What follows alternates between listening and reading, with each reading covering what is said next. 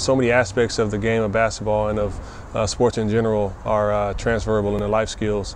Um, you know, discipline, work ethic, um, ability to work with a team, uh, problem solving.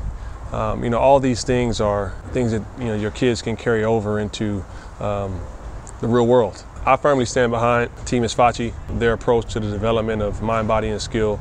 Um, you know, is so important and impactful uh, for kids of any age and uh, it just just the culture there uh, is a culture that breeds um, growth and breeds uh, you know positivity and and uh, you know overall development of, of a child um, you know in all facets of their lives. So I'm 100% a supporter of Team Esface, and I think you should be too.